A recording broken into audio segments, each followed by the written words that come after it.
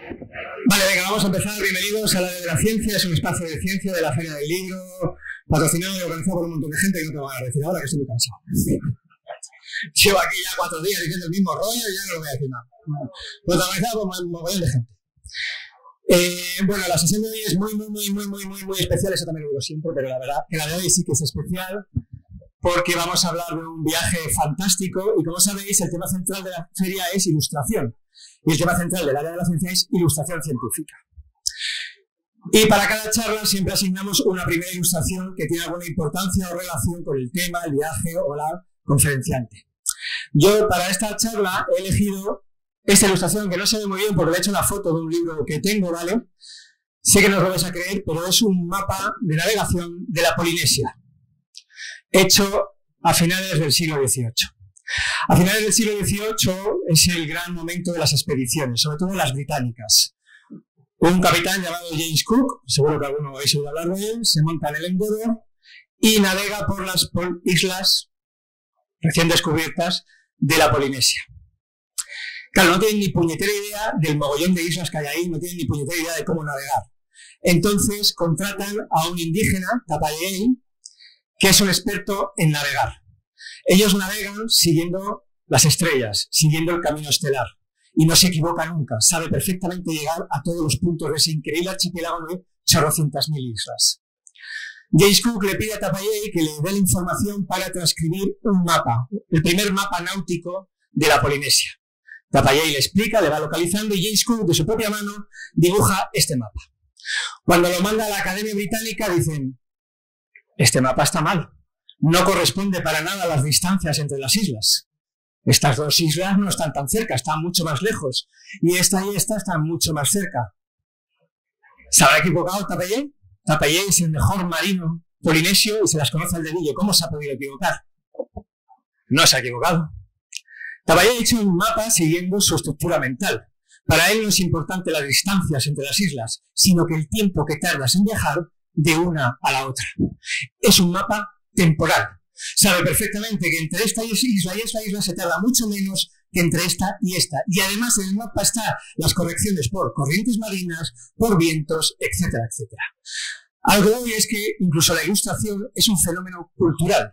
Depende de cómo veamos la realidad, así la plasmamos en una ilustración. Y ahora vamos a navegar. Vamos a hacer un viaje con Silvia López de la Calle. Presentar a Silvia es muy fácil y muy complicado para mí, ¿la vez? Porque Silvia es compañera mía de la Unidad de Cultura Científica del Instituto de Astrofísica. Hemos hecho juntos innumerables proyectos de divulgación, hemos puesto un sol en el Paseo del Salón, hemos puesto una pantalla gigantesca en un edificio aquí, hemos viajado de Granada al Congreso, en fin, hemos hecho mogollón de cosas juntos. Ella lleva toda la parte de comunicación del instituto, ella es la editora, redactora, maquetadora, eh, promotora, difusora, publicista de este fantástico número de esta revista, que yo creo que es uno de los emblemas de, mi centro. Y no solamente es una fantástica comunicadora de periodistas, sino que además la jodía, que es que da por saco esto, es una fantástica artista, pinta como Los Ángeles, ha estudiado de hecho Bellas Artes, y además ya para rizar el rizo, escribe de puta madre. ¿Sabes cómo decir? Lleva ya dos libros publicados, el anterior ya era una maravilla, que era Galápagos, las islas que caminan, y se embarcó en un viaje con el investigador Juan García Ruiz a uno de los sitios más fantásticos, yo creo del planeta Tierra, que es Darol, y hizo un libro de viajes que de verdad lo tenéis que leer porque es una auténtica delicia. Ganó el premio Prismas, a texto no editado, lo tenéis en la editorial Guadalmazar, que está en la editorial Almuzara, o Almuzara, que tiene un stand propio aquí en la Feria del Libro y podéis ir a comprar si queréis que luego Silvia Osfirme. Bueno, pues Silvia nos va a hablar de esta expedición que además ha ilustrado ella misma de una manera absolutamente deliciosa. Os pido un fuerte aplauso para Silvia López.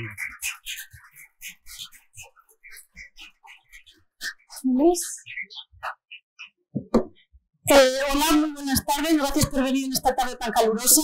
Eh, os voy a llevar a un sitio que es todavía peor que Granada de Madrid, voy a llevar al que es el sitio eh, oficialmente más cálido habitado del planeta. ¿Se me escucha bien? Lo primero, si los de detrás no escucháis bien, veniros para adelante porque la cascada me escucha mucho. Eh, nos vamos a ir a Etiopía, como dice Emilio, al volcán Dalón. Entonces, este es el libro, se titula Expedición al volcán de Sal, pero tiene aquí abajo un título muy pequeñito que pone el libro más bello. Este es el título que yo barajaba porque a mí sinceramente me parece uno de los libros más bellos, pero no es mi mérito. Yo soy una persona muy desordenada, muy dispersa, pero después de estudiar mucho tiempo Dalón y la zona geográfica en la que se halla, llegué a la conclusión de que es sin duda uno de los lugares más bellos del planeta. Os voy a contar cosas sobre Dalón y luego al final me decís si coincidís conmigo o no. Eh, esto es una imagen de Dalón, eh, es una de las imágenes de, su cráter que tiene un sistema hidrotermal de colores. Como pongo ahí, se halla en el territorio Afar, en el norte de Etiopía, y yo en realidad ni siquiera quería ir a Dalón, yo no sabía que Dalón existía. Yo llevo ya mucho tiempo insistiendo a Juanma García Ruiz, un investigador, un geólogo que trabaja aquí en Granada, en el Instituto Andaluz de Ciencias de la Tierra, para que me llevara una expedición. Juanma eh, tiene un trabajo precioso estudiando cómo era la Tierra primitiva antes de que existiera la vida y los límites entre el mundo mineral y el mundo vivo. Y yo sabía que Juanma iba a sitios muy extraños a, estudiar distintos tipos de aguas, muy ácidas, muy básicas o muy calientes.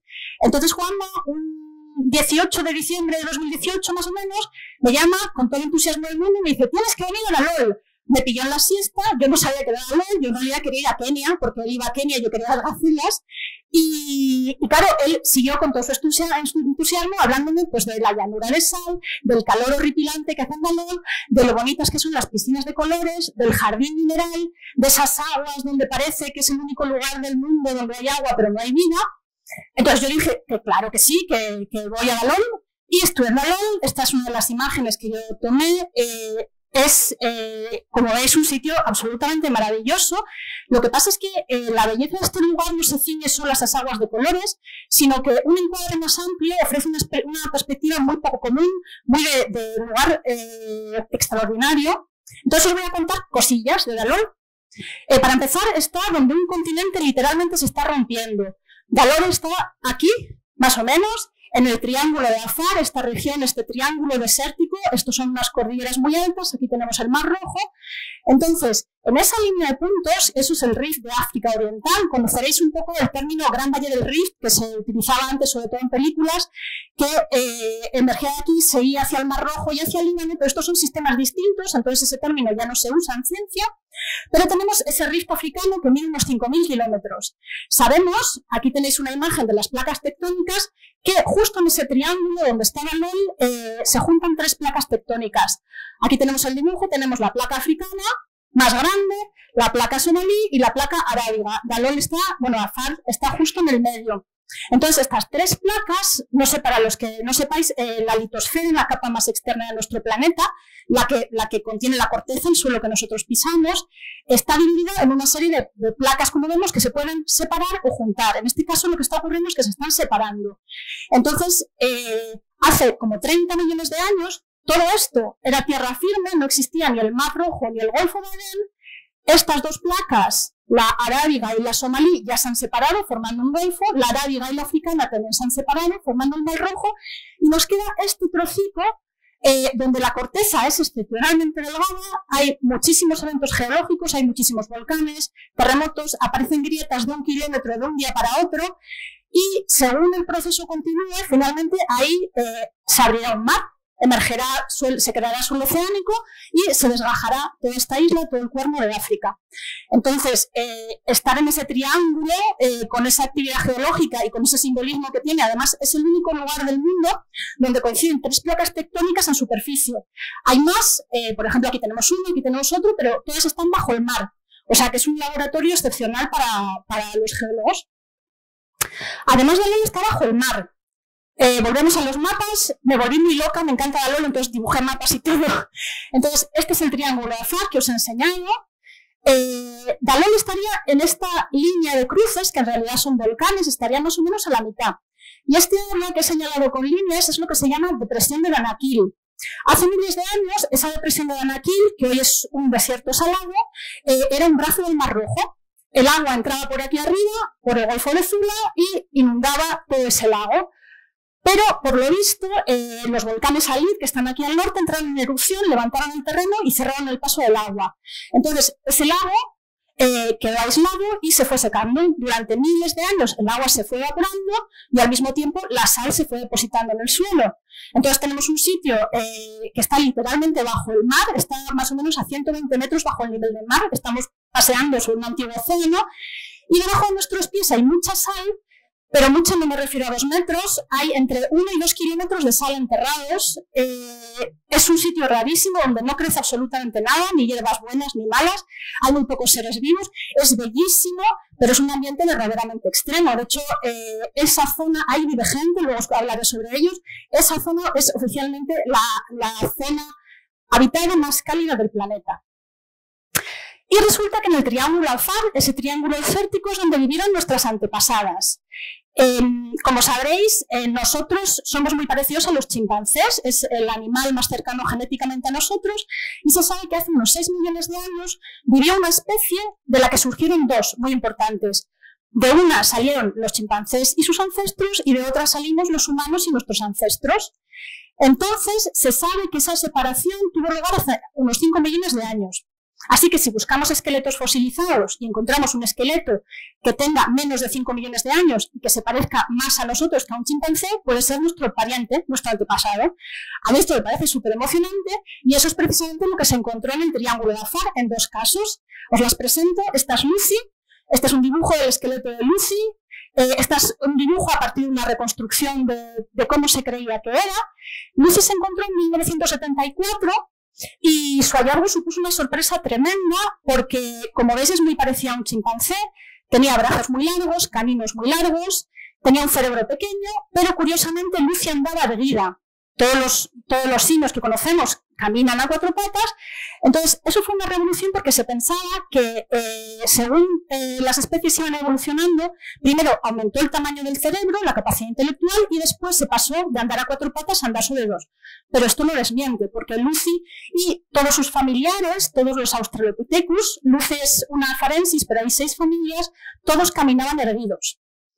Eh, después, 20 años después, en el mismo triángulo desértico, se encontró a Ardi, este es el pie de Ardi, que es muy parecido a nuestras manos, y esta es una ilustración de, cómo se cree que era Ardi.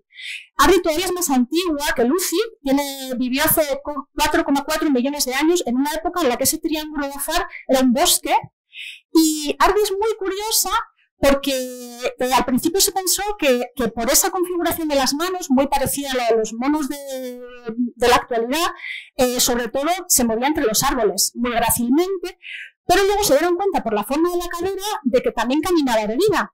Entonces tenemos el organismo en mis ojos perfecto porque era capaz de caminar erguida y al tiempo moverse como un mono por las árboles con muchísima velocidad. Eh, no sabemos bien, porque hubo muchos titulares cuando se hallaron tanto a Lucy como a Arby, hablando de la abuela de la humanidad, de la madre de la humanidad. Eh, estuve estudiando mucho tiempo las familias geológicas y es prácticamente imposible ahora mismo establecer una línea clara. Si se piensa que los ardipitecos, eh, o una de las familias de ardipitecos a la que pertenece Ardi, fueron los antecesores de los Australopithecus. Pero hay varias familias y es un poco lío y tampoco se pueden definir genealogías muy claras. Y que a su vez algún Australopithecus fue eh, quien dio origen al Homo sapiens, que nos dio origen a nosotros. Entonces, sean nuestras parientes o no, nuestras ancestras o no, como mínimo son nuestras primas y, y es muy bonito pasear por lugares donde vivieron estas criaturas hace tanto tiempo y en este triángulo far donde vivieron Lucy y Arby, eh, a día de hoy eh, vive un pueblo que a mí literalmente hizo que se me ensanchara el cerebro. Eh, son el pueblo Afar. Yo cuando, cuando supe que iba a la expedición me puse muy nerviosa, apenas transcurrió un mes desde que me dijeron que iba hasta que me monté en el avión, entonces estudié todo lo que pude, sobre todo de geología, de volcanes, de placas tectónicas, de origen de la vida, pero claro, eh, me quedó una gran laguna que era estudiar la gente que vive en Etiopía, sobre todo en la región de Afar. Eh, yo conviví con personas afar en el campamento, que eran, nuestros guardias. No pudimos comunicarnos con ellos porque uno de los compañeros de la expedición hablaba amárico, que era la lengua oficial en aquella época en Etiopía, pero los afar no hablan amárico. Entonces, pues nos saludábamos así con el hello como podíamos, pero poco más. Luego ya volví a Granada y empecé a estudiar lo que me había parecido curioso sobre ellos, que era en realidad una tontería, que era cómo pueden estos tíos aguantar este calor pero claro, nos veis a nosotros que estábamos resplandecientes de sudor todo el rato, allí nos levantábamos a las 5 de la mañana y hacía 30 grados, o sea, ponte luego al sol. Eh, nosotros desayunábamos, íbamos cargando con entre 4 y 5 litros de agua diarios y estos muchachos no desayunaban, no llevaban agua, subían súper gráciles la montaña, y claro, ni siquiera sudaban. Entonces, yo primero empecé a interesarme por qué resistían también el calor.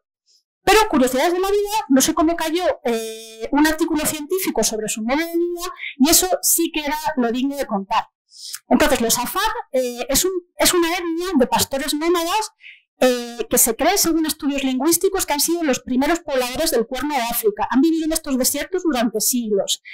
Eh, no es poca gente, viven en clanes, pero son dos millones de personas que viven entre tres países, entre Etiopía, Eritrea y Djibouti. O sea, es gente que tiene un sentido de comunidad muy profundo y, para ellos las fronteras que establecieron otros, que establecieron los franceses o los italianos, no son válidas. Entonces, todos son afán independientemente, independientemente si están en Etiopía o en Eritrea. Eh, como digo, eh, son pastores nómadas y consideran establecer el único modo de vida posible en un entorno así. Lo que hacen, su vida depende de los, bueno, antes más de los dromedarios, ahora un poquito más de burros, de cabras o de ovejas. Eh, lo que hacen es eh, viajar a un territorio donde saben que va a llover, porque ellos conocen perfectamente todos los patrones climáticos de la zona, todas las montañas, todos los matojos de hierba, donde hay pozos, entonces se van desplazando, como ellos dicen, siguiendo las nubes.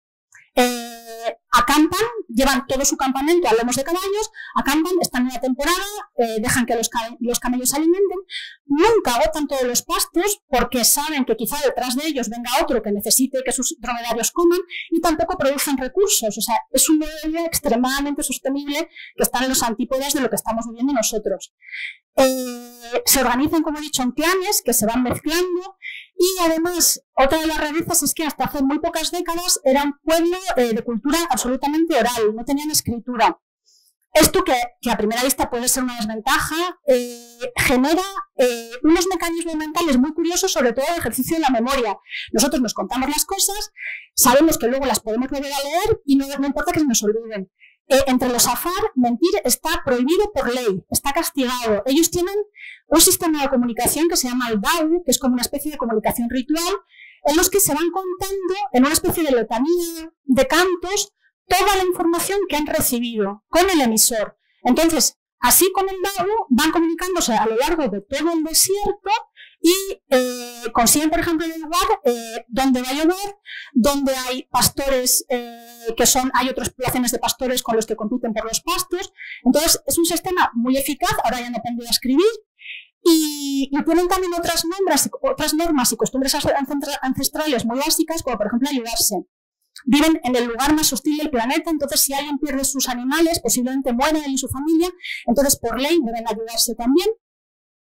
Entonces yo cuando estuve leyendo sobre este medio de vida tan hermoso y tan distinto al nuestro, pensé mucho sobre nuestro exceso, nuestro exceso y, las carencias que pueden tener ellos allí también, porque por ejemplo, ahora mismo están viviendo uno de los dramas, eh, ellos no han hecho nada para contribuir al cambio climático y son los que más lo sufren. En Etiopía prácticamente ha dejado de llover. Eh, ellos conocían seis estaciones, eh, seis temporadas de lluvia, ellos consideran la bruma un tipo de lluvia, o sea, ha sido un poco yo en balón, pero eso ha desaparecido. Eh, su modo de vida ha ido encogiéndose porque, por ejemplo, el gobierno decide establecer un parque nacional y ellos ya no pueden entrar, aunque lleven habitando ahí muchos años. Entonces, a mí esto me hizo reflexionar mucho sobre, sobre mm, todo lo que se habla, todo lo que hablamos. Yo, en mi libro anterior, en la Galápagos, hablaba mucho de conservar la biodiversidad, pero a veces se nos olvida conservar también la diversidad de los pueblos que viven en esas regiones. Eh, entonces, si tenéis la posibilidad, os recomiendo que veáis documentales sobre este tipo de etnias porque, porque de verdad te, te, ensanchan el pensamiento. Y claro, junto con los safarios, los dromedarios. A mí los dromedarios la verdad es que no me interesaban en absoluto. Eh, es eh, bastante típico cuando vas de vacaciones a Balón ir a ver lo que se llama la caravana de camellos. en la laguna de Sal, como os imaginaréis, durante muchos siglos hubo mucha actividad minera. Allí se desarrolla uno de los trabajos más duros del planeta que consiste en a 50 grados al sol romper a hachazos la sal del suelo elaboran bloques de un kilo, además lo hacen a ojo y perfectamente, lo cargan en los camellos y los camellos se lo llevan a la ciudad.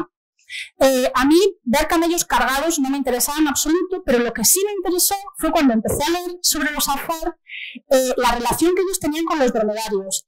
Para ellos, tener un dromedario no es tener un animal doméstico, es un miembro de su familia. Saben que su vida depende de ellos, porque de ellos eh, se obtiene la leche, se obtiene la carne, ellos son los que transportan todas sus pertenencias, entonces los quieren igual que a un hermano o igual que a un hijo, y esto es muy bonito, les dedican poemas.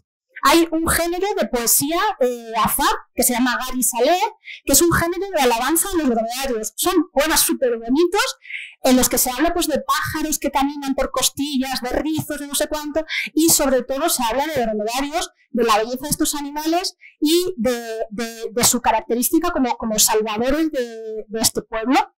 Eh, estuve leyendo, terminé dedicando un capítulo entero en el libro a los dromedarios, porque claro, te pones a leer sobre ellos, el amor es muy contagioso, los afarros quieren mucho, yo también, y todo ese organismo es una librería orientada a vivir en unas condiciones con carencia de agua y exceso de calor. Entonces, son criaturas, eh, a mí ahora me parecen bellísimas, pero son también muy interesantes científicamente. Y ya dejando el triángulo de Afar y enfocando un poquillo más de nuevo en el volcán, eh, volvemos a este pequeño volcán raro. Es raro para empezar porque es muy pequeño. O sea, esto es un perfil de, galón esa colinita, eh, mide 40 metros. No sé si habéis subido un volcán de, verdad, al Teide, por ejemplo, que son unos rompepiernas. Eh, a Balón se sube hasta la cima de manera muy cómoda, incluso con esos calores. Eh, no solo es raro por el tamaño, sino también por los colores. Esto es una vista eh, aérea del volcán. Tenemos, pues eso, pues una montaña ovalada de paredes bastante claras, que se va rompiendo aquí en, un sistema de cañones. Nosotros vivíamos ahí, nuestro campamento estaba en unos cañones. Entonces, según asciende a Galén, lo que veías es eso, no, no te recuerda al volcán de La Palma, por ejemplo, que entró en el año pasado. Parece más bien como barro reseco. Sí que es verdad que de cerca parece más, más piedra que barro, pero aún así el color no responde. O sea, el color de un volcán es rojo de lava líquida y negro de lava sólida. Y luego llegas a la caldera y te encuentras con esto. Las fotos no se ven muy bien por exceso de luz, pero bueno, si queréis luego las veis en el libro. Estas piscinas de colores, que quizá recuerden a sistemas parecidos como Yellowstone, son eh, únicas en todo el planeta. Eh, todos los sistemas hidrotermales que se conocen de colores eh, deben ese color a, la actividad microbiana. Por ejemplo, en Yellowstone son tapetes microbianos de, de, cianobacterias, unas algas muy pequeñitas, lo que genera los colores. Aquí todo es mineral. Eh, solo intervienen cuatro factores, agua, oxígeno, eh, hierro y sal. Entonces, eh, os cuento un poquito cómo surge todo esto. Imaginaros, Dale está lleno de agujeros. Agujeros por los que emerge a veces gas y a veces líquido. Entonces, tenemos un suelo marrón y de ese agujero empieza a emerger un agua muy rara. Es un agua muy ácida, muy salada y muy caliente. Es más ácida que el salfumán. Es emerge a 108 grados o emerge en ebullición y es tan salada que un litro de agua de galón, de contiene 400 gramos de sal. El mar contiene 35 gramos por litro, es un agua con muchísima sal. Entonces esta salmuera empieza a emerger en un suelo marrón. Como sale tan caliente y entra en contacto con la atmósfera, que está más fría, la sal empieza a cristalizar, a formar cristales de sal, como la sal de mesa, esto es todo sal como cloruro sódico, como nuestra sal de cocina, eh, entonces esa sal se va depositando y formando un suelo nuevo. Aquí, por ejemplo, en esta imagen veis unos piquitos blancos, esos son fuentes. Esa sal se va acumulando, el agua sigue emergiendo y lo que ocurre es que ese agua también va cargada de hierro. Y el hierro, al entrar en contacto con la, con la atmósfera, con el oxígeno, se oxida y eso es lo que hace que cambie de color. Entonces, parte de un blanco, luego va a un amarillo claro, luego a un naranja, a un rojizo, un marrón oscuro, y eso ocurre tanto con el sólido como con el líquido. La salmuera también, eh, cuando emerge, emerge cristalina, pero al entrar en contacto con la atmósfera se empieza a oxidar y eh, así se crea una paleta que empieza pues como con un, eh, un lino azulado muy clarito, después evoluciona hacia el, hacia el verde y después hacia el ocre. Entonces, la combinación de todo esto genera esta librería absolutamente sorprendente.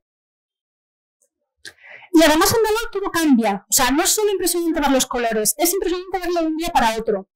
Os pongo un ejemplo, estas dos fotos no corresponden al mismo lugar, pero sí al mismo fenómeno. Esto sería una piscina inactiva y esto sería una piscina inactiva. El hecho de que esté activo no depende simplemente de que emerja el agua. Entonces, aquí ocurre lo que os he explicado. El agua empezó a emerger posiblemente de esa fuente más alta, fue creando esa columna, ese suelo, estas paredes que luego alojarían las piscinas de colores, pero ocurre que en un momento el, nivel del acuífero desciende, el agua deja de emerger y entra en acción la erosión.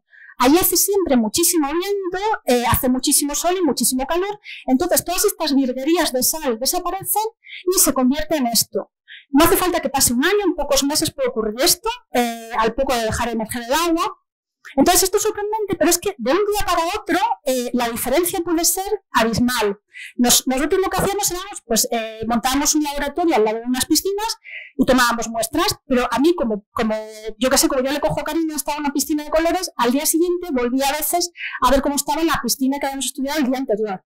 Entonces, aquí estábamos viendo una una, una, fuente, como veis hay una gótica de agua, ahí veis como el agua emerge más o menos cristalina, se están formando dos columnas pequeñitas, luego os pongo un vídeo para que las veáis en acción, eh, y estuvimos ahí pues como un par de horas, al día siguiente volví y yo estaba buscando dos columnas más grandes, no las encontraba por ningún lado, hice la foto donde yo pensaba que habíamos estado y eh, era esto, en 24 horas habían crecido 25 centímetros. Es esto, bueno, de cuenta por la piedra esto que hay aquí detrás, que si no, no me hubiera dado cuenta.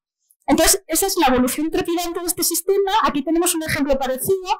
Estuvimos un día cogiendo muestras de aquí, de esta fuentecita, donde se ve más azulado, el agua emergía de aquí, iba cayendo por las terrazas de sal, iba oscureciéndose hasta llegar al ocre aquel.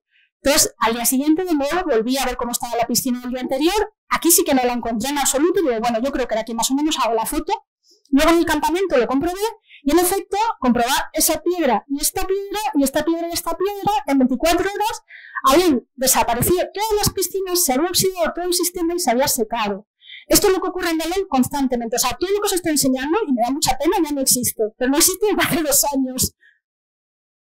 Y además de este suelo de piscinas, tenemos el otro suelo que es el, sólido, entre comillas. Em, el, el, suelo sólido está formado por agujeros, muchos agujeros de los que emerge gas. Ese gas llega cargado con gotitas minúsculas de sal que van formando pues, estas telillas, estas estructuras que también son de sal más o menos oxidada. Todo esto cruje es el suelo más bonito en el que he pisado en mi vida, porque vas todo el rato, mm, pues eso, pues sobre como cristales rotos o así, eh, todo se rompe, hay que tener muchísimo cuidado, porque nuevamente cuando el gas deja de emerger, cuando ya dejan de salir gotitas de sal, se convierte en esto. Aquí hay más agujero que suelo. Entonces, eh, esto es lo que hay debajo de eso. Entonces, eh, nosotros sabíamos que caminar sobre este suelo, que el grupo llamaba, ¿cómo llamaba?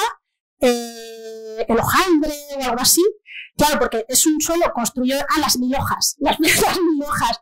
Entonces, en la primera reunión que tuve para preparar la expedición, nos contaron pues, los distintos escenarios de muerte posibles en Dalón, de caernos en piscinas, de acidez, de no sé cuánto. Uno de los escenarios de muerte posibles era quedarse atrapado en las mil hojas. Ocurrió en una expedición anterior, le ocurrió a Juan, de hecho, fue caminando eh, y de repente cayó en un agujero a esta altura. Allí tener un accidente es peligroso porque hace mucho viento, eh, balón suena como miles de cazuelas hirviendo al mismo tiempo, entonces por mucho que grites nadie te escucha. En el año en el que fui yo, ya viendo lo que le había ocurrido a Juana, decidieron como norma que si nos alejamos un poquillo del grupo fuéramos de dos en dos por si acaso.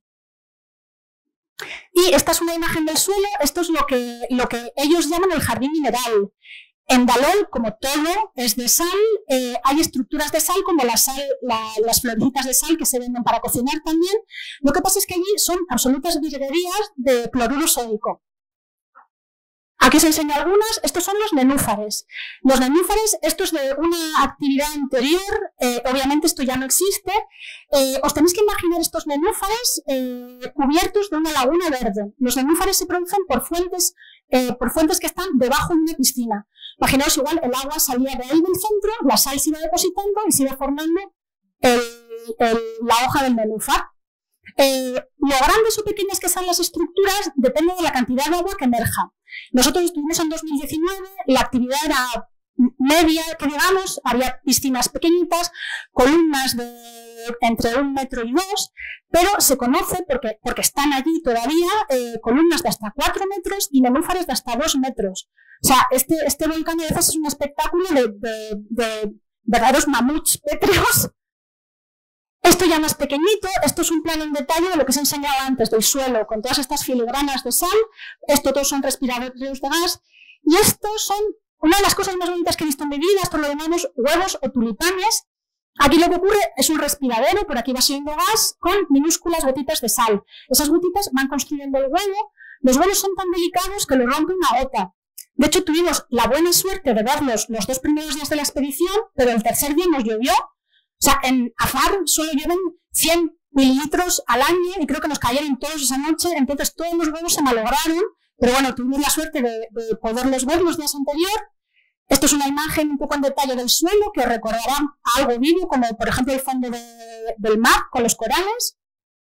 Estos son las plumas, que también son estructuras salinas, hay con el amarillo de la oxidación los pelitos, que eran muy chiquititos y salían sobre las piscinas, y las flores, que son mucho más bonitas que las flores de sal que nos venden, y que eran un cubo perfecto de sal con un pétalo, y son muy chiquititas, estas son las líneas de mi mano, sea, son así de pequeñitas.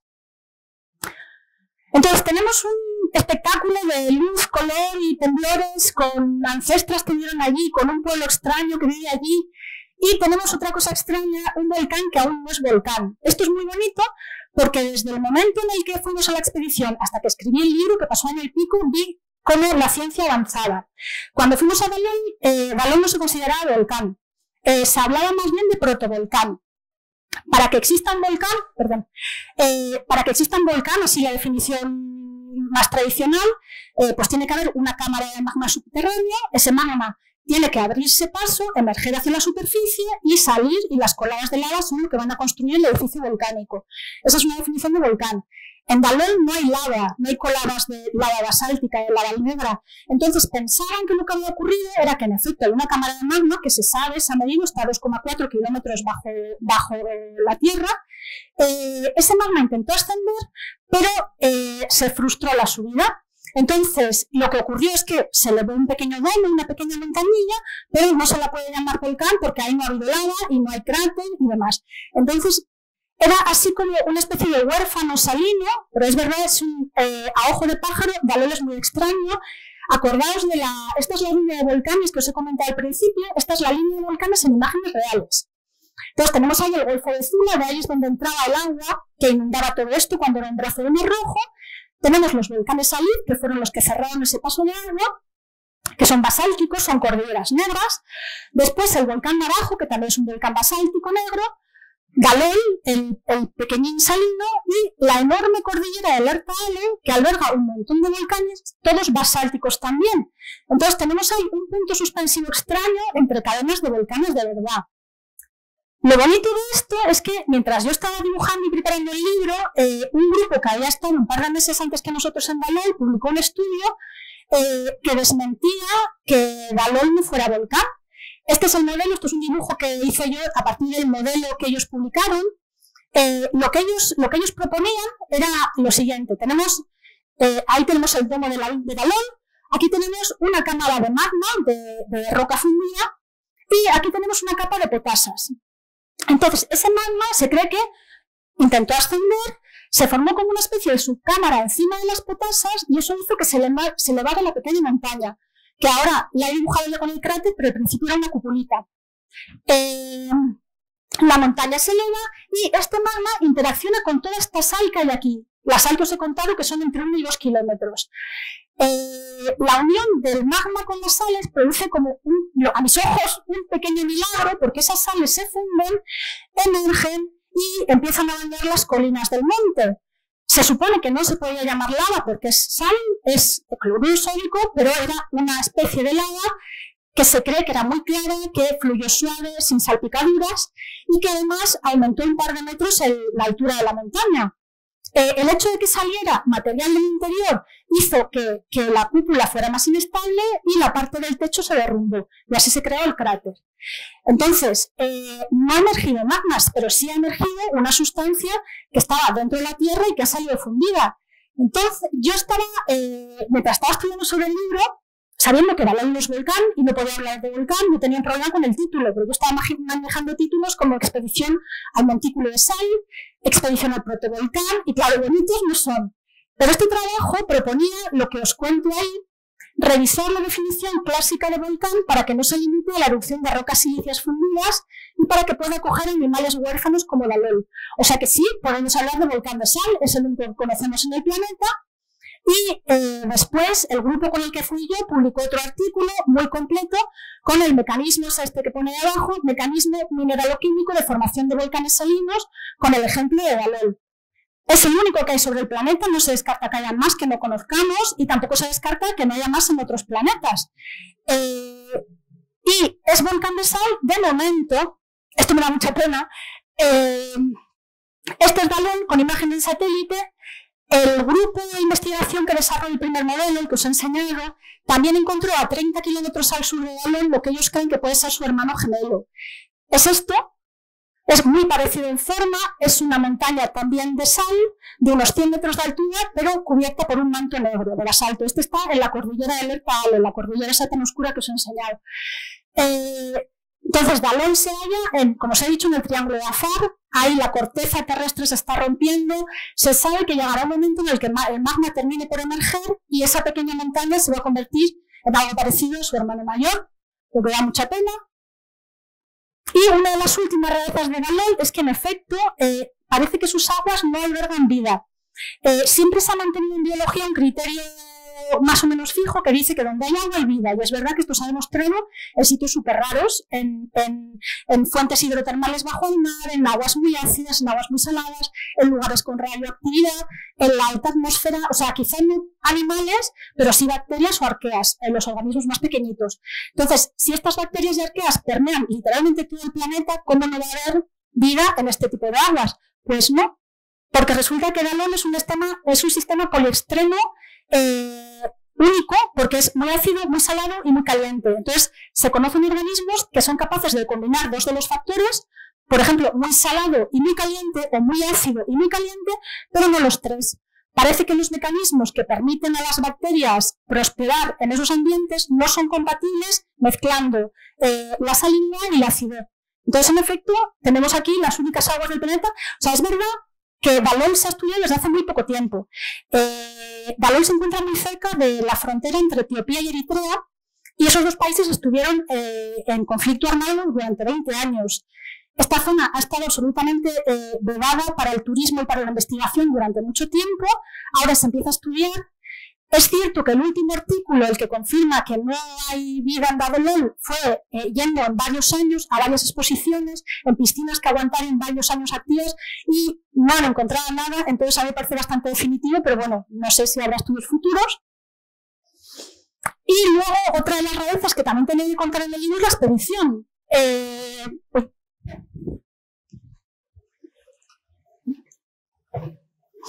Yo nunca he ido a una expedición científica, yo soy una ratilla de despacho, trabajo con Emilio en el Instituto de Astrofísica y no vamos de expediciones porque no se puede en planeta.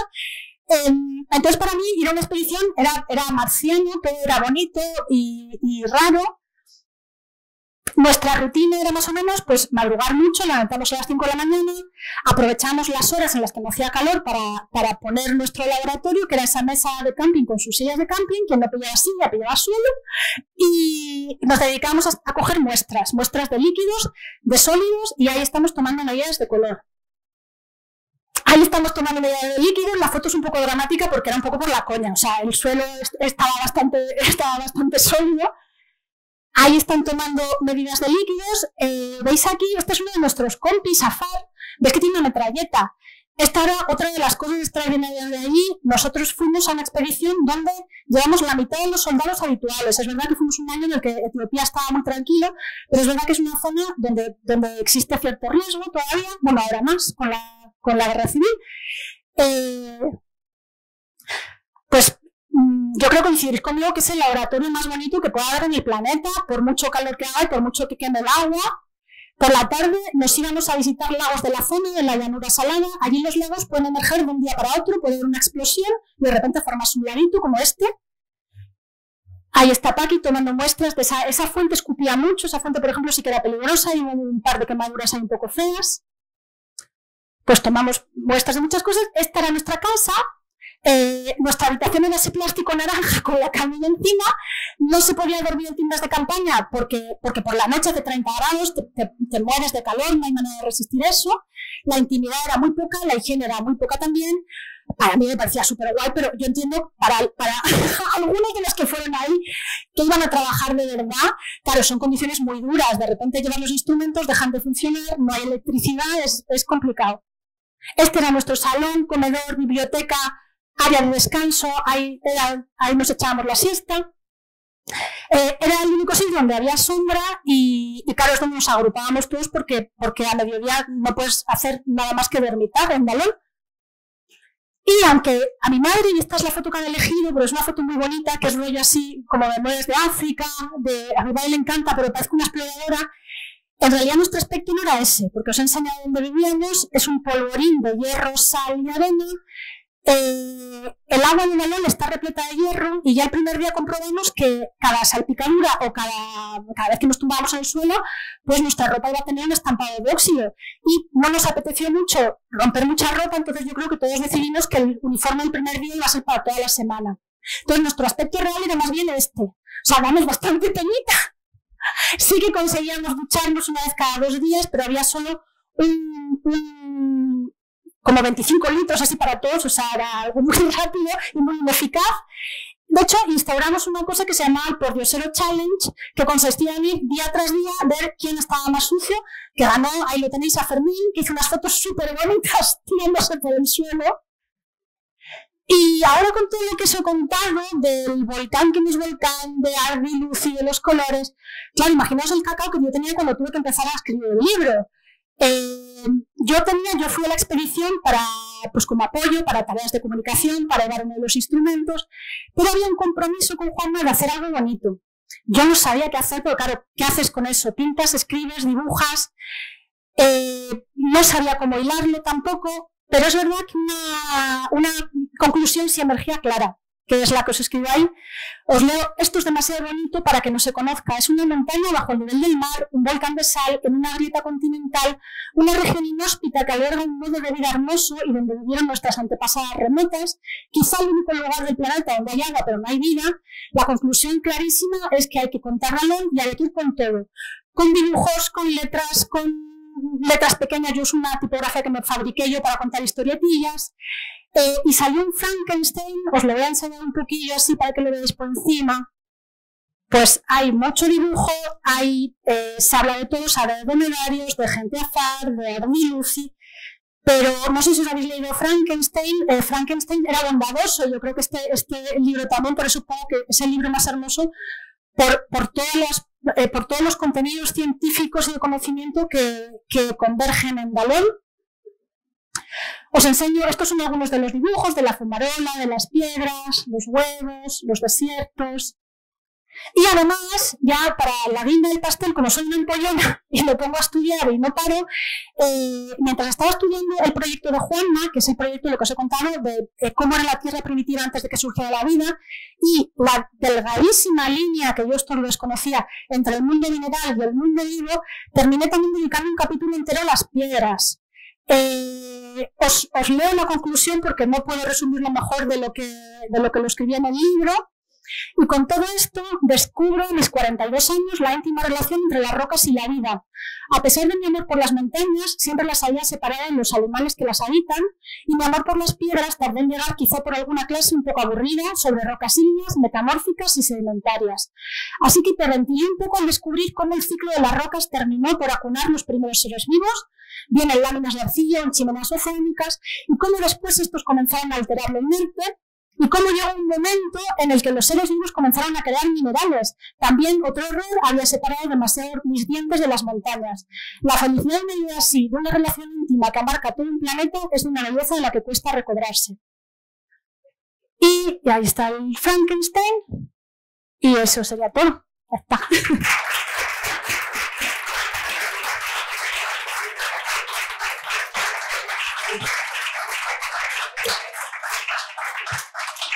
os quería enseñar, porque tengo un vídeo muy pequeñito que era gordo y no he podido cargar en la presentación. Eh, yo hacía muchas fotos también de las fuentes, lo voy a dejar ahí para que veáis cómo van salpicando y creciendo y demás. ¿Alguna pregunta para Silvia? ¿La carpeta? ¿Del vídeo? Ah, sí. Ah, el vídeo, no había escuchado. El sí, Silvia. ¿Qué es?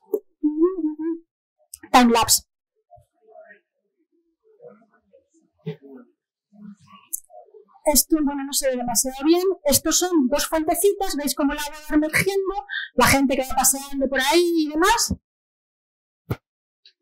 Y esto lo dejo pues, pues para mientras tanto, por si tenéis alguna preguntilla. Venga, ¿alguna pregunta para Silvia? Olga. Eh, ¿Cómo se procesa la vuelta de un sitio así al despacho? Fue fatal. Bueno, hubo cierto alivio, sobre todo alivio de que no ocurriera nada, porque lo que os he contado de los posibles escenarios de muerte era real. O sea, había. Yo, a mí me dio mucho miedo. De hecho, la expedición que sacó el, el modelo que os he enseñado del volcán empezó eh, diciendo, pues eso, pues que se habían hecho no sé cuántas heridas subiendo un volcán, que había mosquitos, que había zorros y chácales en el campamento. Claro, en el campamento se duerme al raso. Yo llegué con bastante miedo. Transcurrió la semana, fue, fue maravilloso, pero fue muy cansado. O sea, también fue el alivio de quitarse de ahí. De hecho, cuando volvimos a, cuando dejamos volvi- dormimos una noche en Addis Abeba y ya pudimos ducharnos de verdad. Entonces me metí bajo la ducha y emergió de mi pelo un olor a tornillos oxidados, es como la cantidad de mierda que tenemos encima. Entonces vuelves un poco aliviada. Eh, de hecho, yo pienso en volver a un sitio así, me da el susto de nuevo. Lo que pasa es que, claro, es una experiencia que, que, que guardas para siempre. Venga, ¿alguna pregunta más? ¿Para Silvia?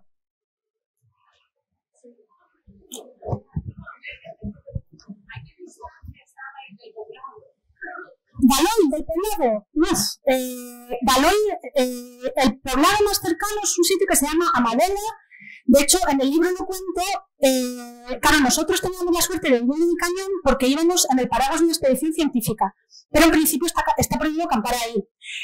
Nosotros, pues cuando estábamos en el cañón, de repente pasaban grupos de turistas, que era súper raro porque es como si te pillan en tu salón ahí leyendo y pasa peña. Y una de las señoras se acercó para preguntar, dice, pero ¿cómo se han dejado acampar aquí? Con carilla de pena. Nosotros pues explicamos lo de, la, lo de la expedición. Ya nos dijo, ella estaba durmiendo en una madela. Madela era como pues un conjunto de cinco cabañas con cabras, perros y burros cantando a, su a sus anchas, donde ponen a los turistas durmiendo en caminos también, todo rodeado de basura. Eh, eso es lo más cercano. La ciudad un poco grande más cercana está a cinco horas en coche. O sea, llegar a Balón es muy difícil. Mm. Pero me- merece la pena. Lo que pasa es que, claro, a mí me hizo la pena porque viví una semana allí. Eh, lo que hacía esta gente que pasa por ahí, llegan a Balón, caminan durante un par de horas y vuelven al coche porque si no ahí la gente se muere, si no va muy con sombrero, con mucha agua y demás. Venga, hay tiempo para una última, pues dos últimas. Primero Mati, sin. Silvi, yo aparte de leerme el libro, he visto algún documental en que se ven los que comercian con la sal, ¿no? Sí. Y en ocasiones recorriendo, pero muchísimos kilómetros, o sea, vienen de mucho más lejos y creo que se producen también enfermedades oculares y todo lo que me puede imaginar, ¿no? Que es una vida todavía más dura, además de lo que Sí, a ver, son unas condiciones muy difíciles las de los AFAR y más ahora con cambio climático, con reducción de territorio.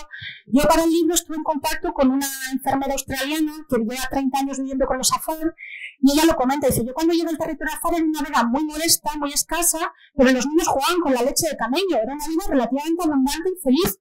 Pero ahora, entre especies invasoras, cambio climático, reducción de territorio, eh, se le está quedando una vida mucho más dura y mucho más pequeña. Entonces, eh, lo que tú comentas de los ojos es verdad que son enfermedades comunes. Por ejemplo, los AFAR, nuestros compañeros del, del, del campamento, no bebían el agua embotellada que bebíamos nosotros, bebían, bebían agua de pozo, hipersalada. Y están acostumbrados a eso. Pero, por ejemplo, eh, que también nos dio mucho pena, mucha pena, durante los días del campamento vieron que Paqui estaba curándole una quemadura seño a otro de los chicos del grupo y empezaron a venir varios con problemas. Pues uno con sequedad ocular, claro, es que viven en un entorno verdaderamente difícil donde hay muy poca asistencia, además, que el pueblo más cercano está a cinco horas. No, yo te iba a preguntar precisamente los AFAR y cómo ellos perciben, porque habías dicho que para ellos moverse se guían por los cambios de, del cielo, ¿no?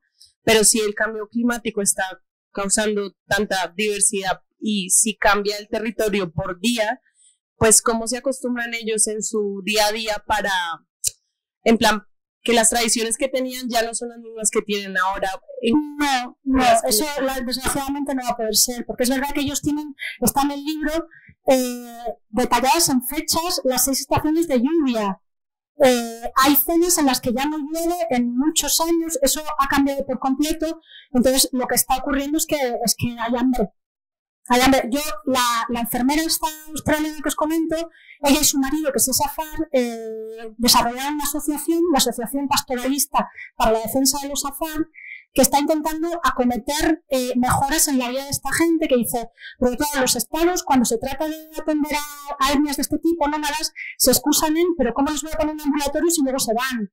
Y esta asociación eh, lees su web y dices, pues si es que lo han solucionado súper fácil, te mueves con ellos. Han desarrollado kits que se mueven en un horario, educativos, eh, sanitarios, médicos, están estableciendo más puntos de agua para, para eso, para intentar afrontar eh, lo que les viene y lo que está rompiendo tradiciones de, de cientos de años. Bueno.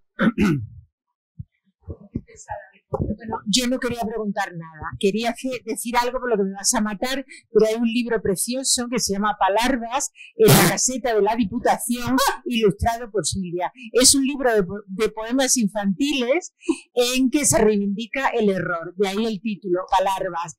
Yo que soy muy poco amante de los animales, como Silvia bien sabe, todas las noches lloro un poco encima de la foca. Os recomiendo que paséis por la caseta de la Diputación. Muy bien, pues yo creo que lo vamos a, si no hay ninguna pregunta más, lo vamos a dejar aquí. Lo